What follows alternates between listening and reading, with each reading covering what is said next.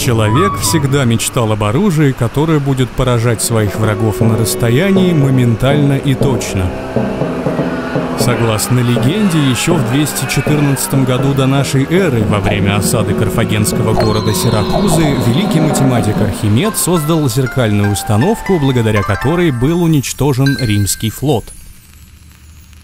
Принцип работы огненного зеркала Архимеда был крайне прост – оно фокусировало солнечные лучи в одной точке, в которой температура резко поднималась и теоретически могла поджечь деревянный корабль. Однако применение такого зеркала в боевых условиях вызывает много вопросов, и сегодня нет уверенности, что эта легенда правдива. Спустя 2000 лет, в конце 19 века, английский писатель-фантаст Герберт Уэллс опубликовал научно-фантастический роман «Война миров».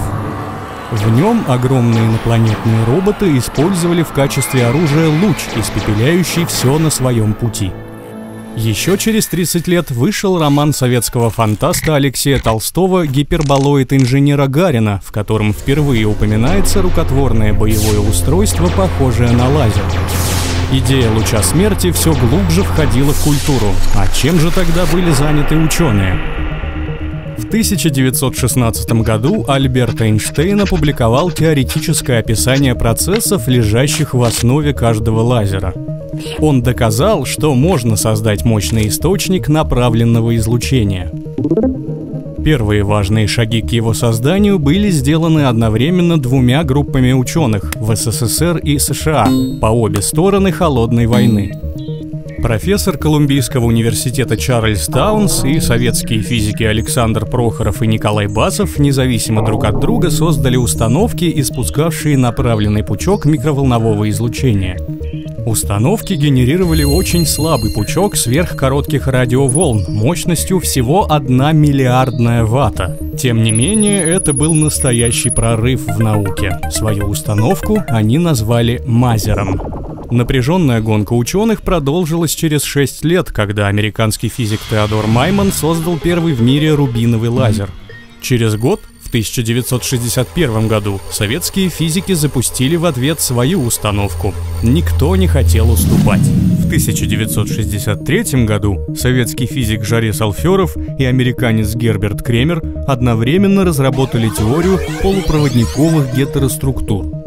Тогда этого еще никто не понимал, но их теоретическая работа изменит весь мир – если раньше лазер мог работать только в лаборатории при температуре минус 194 градуса Цельсия, то благодаря их идеям лазерные установки уменьшились в десятки раз и больше не нуждались в охлаждении. С этого момента область практического применения лазера безгранично расширилась.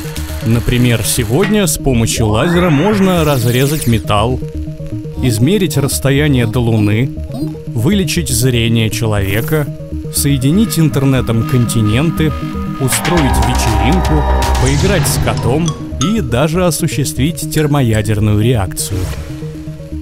Вы когда-нибудь задумывались, сколько энергии выделяет наше Солнце? Благодаря реакции термоядерного синтеза внутри него происходят процессы слияния атомов водорода и атомов гелия.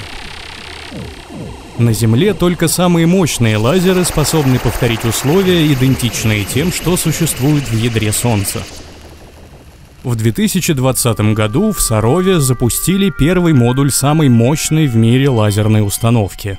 За мгновение она способна разогреть атомы водорода до 100 миллионов градусов, заставив их слиться и повторить условия в ядре Солнца. Однако огромная мощность лазерной установки сказывается и на размерах, которые сравнимы с площадью двух футбольных полей. Сегодня, следуя за легендой об огненных зеркалах Архимеда, ученые многих стран ведут разработки в области применения лазеров в военных целях, таких как авиация и противовоздушная оборона. Но в первую очередь, несмотря на отношения в массовой культуре, лазер стал одной из главных мирных технологий 20 века.